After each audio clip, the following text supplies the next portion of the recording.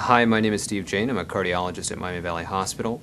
An echocardiogram is a fairly simple test used to evaluate the contraction of the heart, how it pumps, and also the valvular structures and whether there's any blockage or leakiness within those valves. Uh, an echocardiogram is generally uh, provided or given to patients that demonstrate symptoms such as chest pain or shortness of breath to evaluate for heart muscle dysfunction or leakage or blockage in heart valves. The most common bit, uh, piece of information you obtain from an echocardiogram is the contraction of the heart muscle, and we can assign a number to that that demonstrates the efficiency or the ability of the heart to pump out blood to the body. The test is uh, fairly simple, involving an ultrasound probe where a technician simply places some jelly on the chest wall and then places the ultrasound probe lightly over the chest and acquires the images in that way without really any discomfort to the patient. Uh, and test results are essentially instantaneous, however, a doctor will need to interpret those results, and that may take a day or two.